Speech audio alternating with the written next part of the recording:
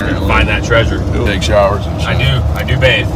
a lot of history. Remember in the 1800s that someone had um, a lot of money or gold or something, and it is buried somewhere in this area. It's got braille on it. Crew. Airplane. Oh, what is that? Bottom of an airplane. So we got a toy truck and a toy airplane now. We're just kind of getting into the sport, so we don't know what it is. So we're gonna look it up real quick. World War II brass eagle army button. World War II uniform button. Trench Really? coat. World War Wool II. trench coat button. Military button. This is the best find. Oh my yeah, gosh. Right? Wow. And it's brass, f- solid brass. Ain't that crazy? Yes. Hmm. Check it out, get a feel for it. I make him look gorgeous.